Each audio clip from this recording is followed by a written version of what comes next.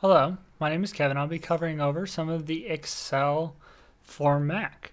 I'm actually going to go through the whole program from start to finish in my weekly podcast. So I hope you're as excited as I am to actually understand this program. It's very frustrating trying to find resources out there for Microsoft Excel, so I figured I would just start by myself. So the big thing with Microsoft Excel, especially for the Mac, is it's changed dramatically since the previous versions. Microsoft has done this on the Windows side as well, so it's not going away. So instead of me trying to understand older versions and making it apply to the newer versions, it's time to actually just learn the new version. When you launch Microsoft Excel for the first time, it actually comes up with a template kind of settings there. They have a whole bunch of different templates that come with it. They break it up with categories. Or if you actually make your own layouts, which I'll teach you how to do, you can save them as a template so that way later you can go at it without remaking the sheet over and over again. For now, we're just going to start with a basic Excel workbook.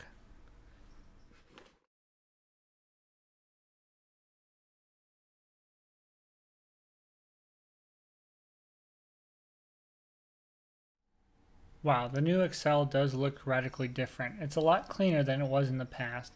It's more graphical. So for visual people, this is going to make learning Excel so much easier. The biggest thing Excel has added is this new ribbon right up here on the top. It keeps tools together that normally would go together. So if we're looking to do anything with a chart, I'm one tap away from looking at all my different options that Excel offers with charts, as well as table, layout, and home. Home tends to be the general one. It'll actually show you majority of the options you're going to be using on there. If you're looking to get most of the screen space as you want possible, you can simply click on this arrow over here on the right side to minimize it so that way you get the most use of your data. But right now, that's not the case.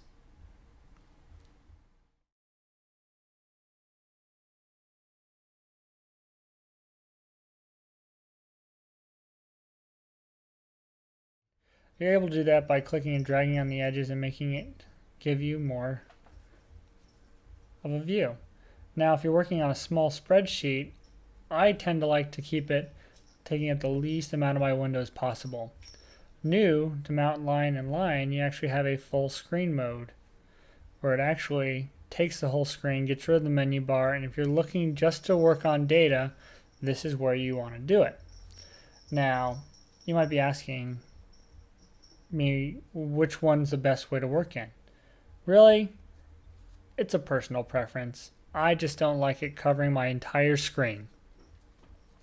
So here's a basic spreadsheet where we have our header row, which is in which takes up all of row 1. I'm currently using column A, B, C, and D with information. But let's say I would like to add another column in there. I can just click on column E1 and type in data like so.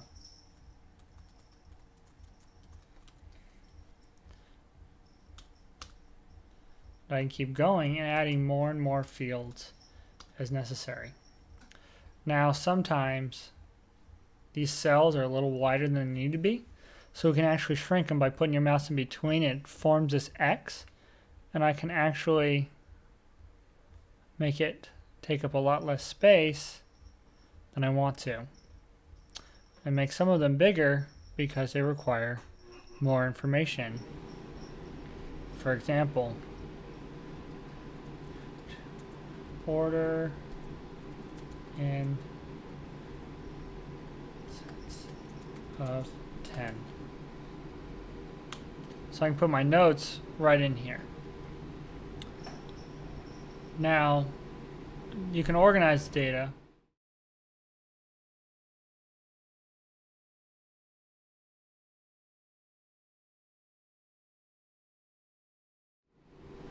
I can go under my data ribbon and take a look at my filter.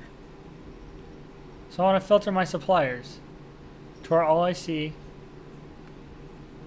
are my bings. So now, when I'm on the phone with my distributor, I know everything I'd have to order within one click.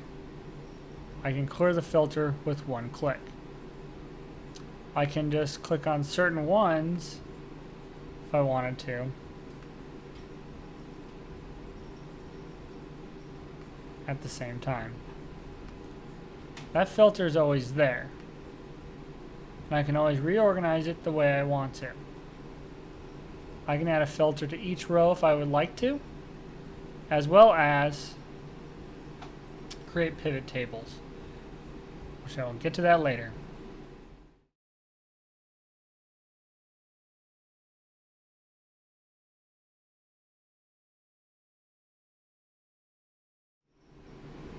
I can change the format of those cells by going to my Home tab. Under here, I can go to Currency. Now, if these number symbols show up, what that means is you have to widen the column for it to show more of that data.